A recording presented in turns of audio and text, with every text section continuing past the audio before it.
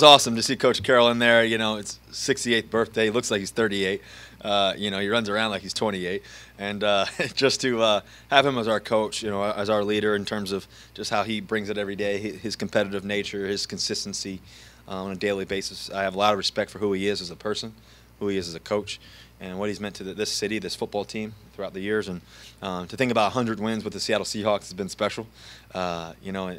Uh, and so I, we were able to give him the football there uh, in the locker room. I was able to hand it to him, and um, you know, think about the hundredth hundredth year, hundredth win for him, uh, for for the Seattle Seahawks, pretty special. And um, so uh, Bobby uh, was like, "Hey, let's let's pour some water and get the guys hyped in the locker room." So that was pretty cool. Things everything, you know, the birthday, uh, hundredth win, who he is as a coach, his energy.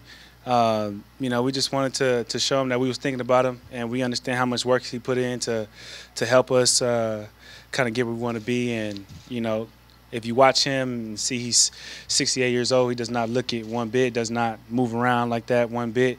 Uh, he actually kind of hit me on the sideline a little bit, kind of felt a little power. So, um, you know, he doesn't uh, doesn't act 68 to be at 100 in, in, year 10, and we got a lot more games to get this year. You know, it's it's a it's a really it's a it's a proud statement to make. You know that we're able to do that here, and, and I love so much that we're doing it for the people and the fans that love us so much, and um, I'm thrilled about it.